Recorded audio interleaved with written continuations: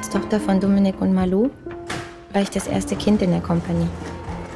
Ich bin im Tanztheater groß geworden. Das Leben ohne Pina? Ich weiß gar nicht, was das ist.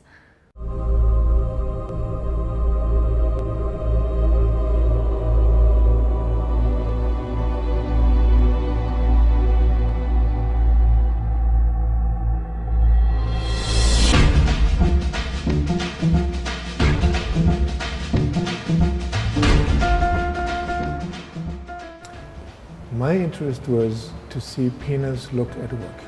These amazing eyes, how they saw through people, how they got things out of people, and how they transformed what Pina saw into pieces. I wanted to see that at work. Pina's interest was to find the language for recording her work.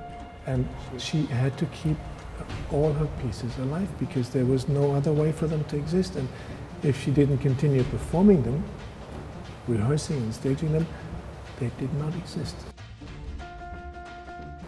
The call came that Pina had passed away. So she never saw it. Emotionally, it was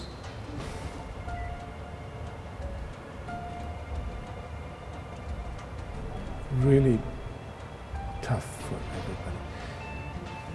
And the dancers none of them had been able to say goodbye to Pina. And they felt they needed some way to do that. And we all felt, me too, that we wanted to give something back to Pina because we realized when she was gone how much she had given us. So when we decided that we wouldn't, couldn't make any more of the film with Pina, together the dancers and I realized we could do a film for Pina. A lot of it was just, yes, an act of grief, but also an act of love for Pina, especially on behalf of the dancers.